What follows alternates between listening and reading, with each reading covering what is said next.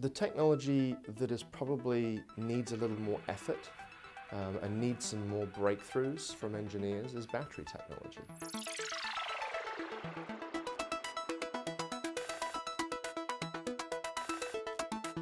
Um, you know, Moore's law gives us twice the amount of transistors every two years.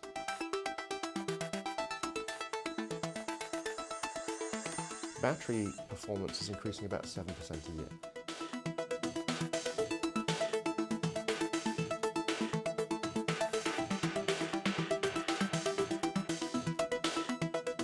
But it would be nice to see some advancements in battery power. I think that would be an area that would give us big breakthroughs.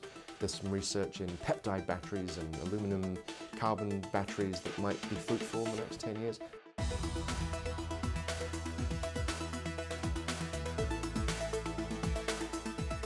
I think that would be a big breakthrough that could change a lot of the way that we live our lives and fuse nicely with Moore's law to give us amazing devices that would really change people's lives.